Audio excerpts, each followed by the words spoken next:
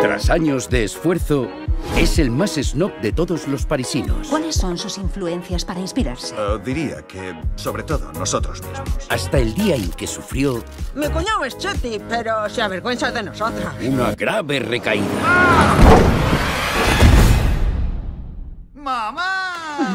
¡Oh, verde! Aún no se expresa con normalidad. Pero si eres tú, verás el que no habla bien. Le ayudaré a librarse de ese feo acento. Abra la mandíbula. La. La. La como lamer. Lomer. Es Lomer. ¿Eh? Empezaré por algo más fácil. ¿Esto qué es? Un loping. Una liebre. Una lieve. Muy bien. Eh, no, bre. Bre, bre. Una top. Mesa. Me salió, fíjate. ¿Le ha parecido bien? Repita conmigo. A, E, I, O, U. O, eh, e, o, o. No. Eh, Solo pronuncia dos vocales. I y O. Le va a costar un poquito expresarse. Con esa tos. ¡Mamá! ¡Oh! ¿Has dormido bien, mi pichula?